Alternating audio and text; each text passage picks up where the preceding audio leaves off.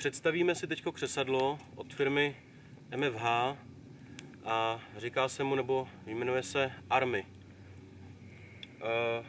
Má vlastně tady takovou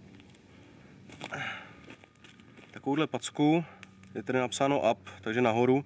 Z té druhé strany má takový ostrý zoubky.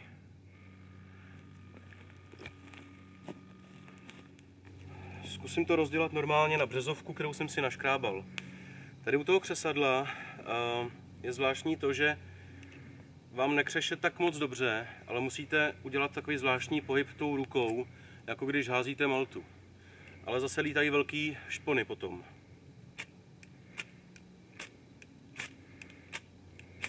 Takže ideální je, ne, že si to přiložíte tady u toho křesadla, ale spíš jakoby z dálky.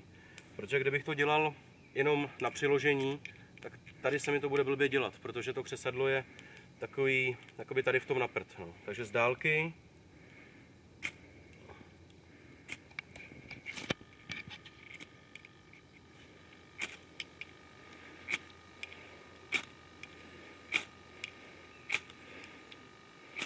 Musíte se opravdu trefit přesně tím, tím žhavým eh, do toho troudu a na tu březovku teda nic extra. Musel bych si asi přímo tu březovku nějak víc nakrouhat, aby jí bylo víc, aby se tam přesně hodila ta jiskra. Takže teď zkusím jiný trout. Mám tady takovýhle chumáče, vlastně peří z nějakého bodláku. Ono líp chytá, takže to zkusím takhle na dálku zase.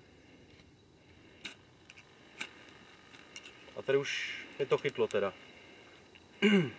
Ono to je ideální si třeba tady to namixovat eh, s tou březovou kůrou. Ono to neschoří tak rychle, zažehne vám to vlastně a ta březovka už se potom chytí. Schválně to můžeme vyzkoušet. Jenom to takhle spolu trošku pošmajchlujeme. Tak. A mělo by to díl hořet.